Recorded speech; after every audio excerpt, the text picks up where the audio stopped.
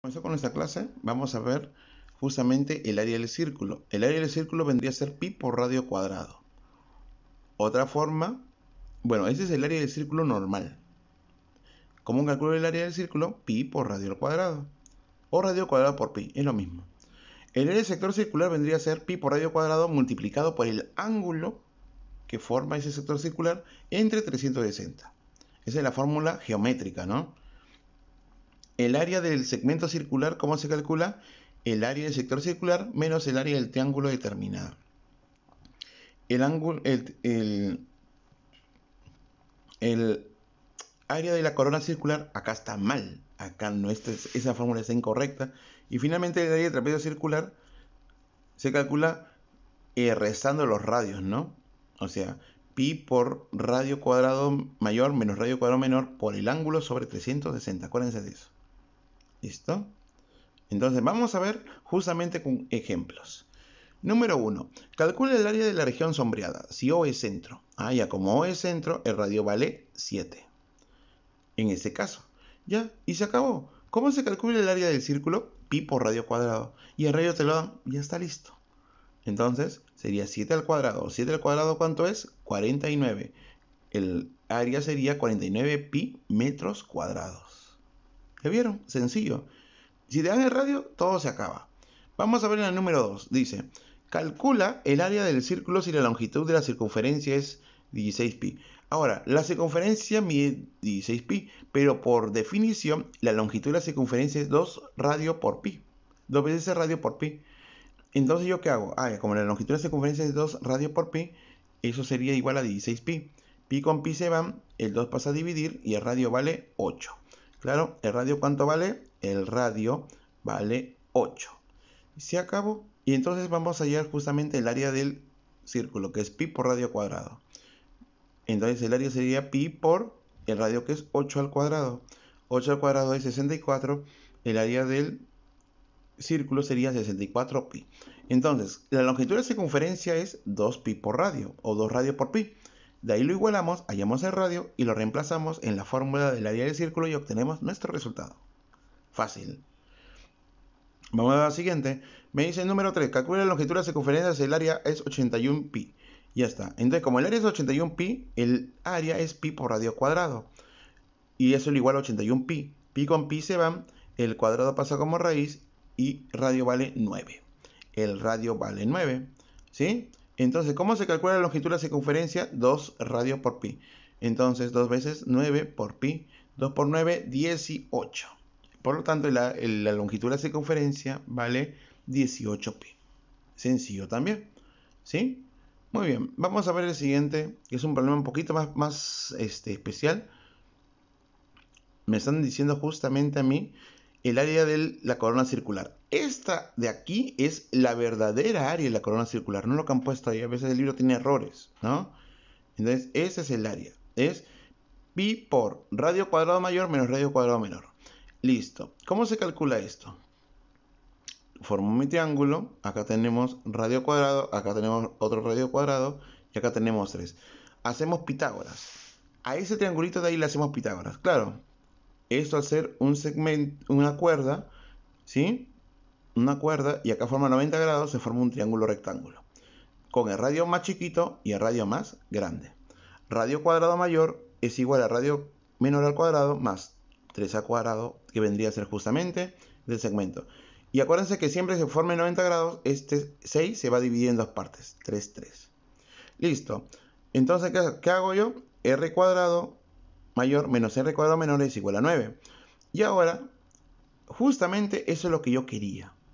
Entonces lo voy a reemplazar. Sería pi por r cuadrado mayor menos r cuadrado menor. Pero ¿cuánto vale eso? 9. 9 pi. ¿Cuál sería el área? 9 pi. ¿Ya está? Listo. Es el número 4. Número 5. Sencillo. Y acá está más fácil. ¿Por qué? Porque ya te dan los, los datos, ¿no? El radio menor vale 2, el radio mayor vale 8. Entonces, ¿qué hago yo? Pi sería radio cuadrado menos radio cuadrado menor al cuadrado también. Listo. ¿Cuánto vale el radio mayor? 8. 8 cuadrado menos el radio menor es 2 al cuadrado. 8 al cuadrado es 64, 2 al cuadrado es 4. 64 menos 4 es 60. El área de la corona circular es 60pi. Sencillo. No hay más que hacerle. Te dan los dos radios y los restas nomás. O sea, los elevas al cuadrado y los restas y se acabó. Sencillo también. Vamos al área del sector circular. Muy bien. ¿Cómo se calcula el área del sector circular? El radio vale 2. El radio vale 2.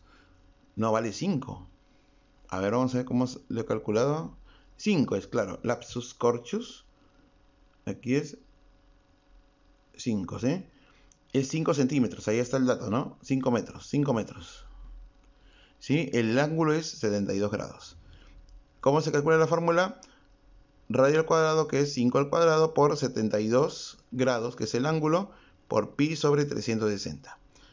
¿Sí? Al simplificar, tendríamos 5, 25 sobre 5, y eso me da 5. ¿Cuánto vale el área sector circular? 5 pi.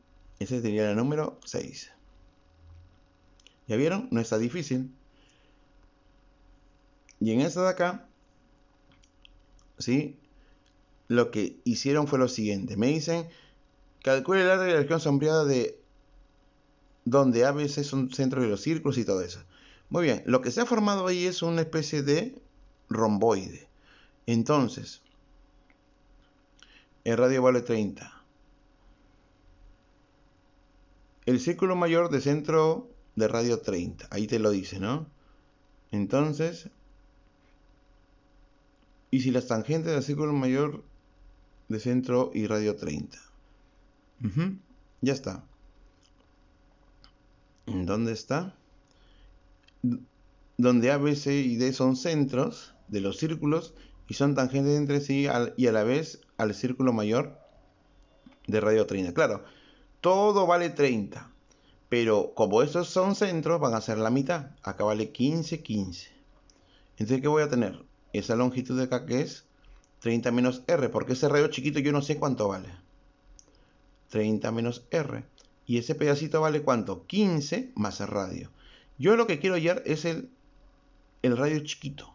Quiero hallar el radio chiquito. Entonces, para hallar ese radio chiquito, lo que tengo que hacer justamente es hacer esto, ¿no?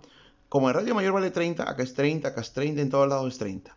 Ahora, para los círculos de acá, van a ser la mitad justamente. 15, 15. Por eso que 15, 15. Ahora, todo eso vale 30, pero ese radio de acá no lo sé. Ese radio de acá es igual al radio de acá. Ya está. Entonces, ¿qué hago yo? Solamente le voy a restar. A todo 30 le resto R y tengo 30 menos R acá. Y acá tengo, como acá es 15 y este es R, tendría 15 más R. Hacemos Pitágoras y al hacer Pitágoras obtenemos que el radio vale 10. ¿Sí?